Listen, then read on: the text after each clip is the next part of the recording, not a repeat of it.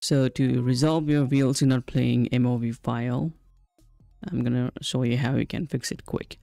First, open up the VLC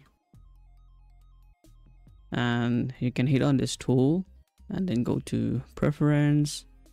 The first thing is that you can do is resetting this preference. So click on reset and simply hit an OK.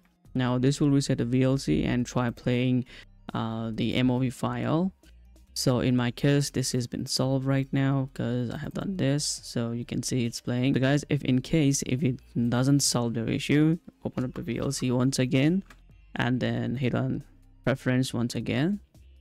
So this time go to input codecs and scroll down until you find uh, this damage or incomplete avi file. So this will work for uh, mkv file as well and avi file as well so you can choose this for like always fix instead of um ask for action. So choose always fix save.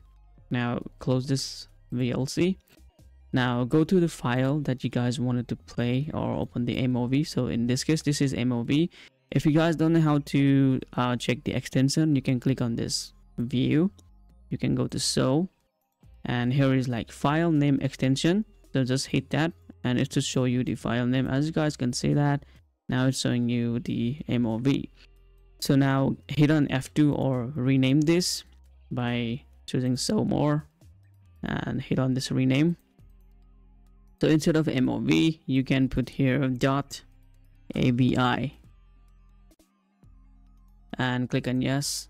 It's showing that it's unusable for you. So just open this with VLC and there we go. It should work like that. So i have another fix as well. If in case that the mov doesn't work for you so let me undo the rename first. So we bring back the mov so let's open the vlc this is uh, this will be the final solution for you. This will definitely work because we are going to convert this. So hit on this media and convert a save. So go ahead and click on this file tab and then add.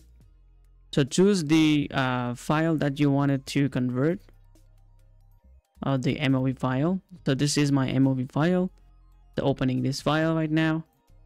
Now hit on convert or save. Now you can choose here profile as h.264 plus mp3 by doing this you will get video and as well as audio. So once you guys are happy with this preset you can go ahead and browse this and save this as converted.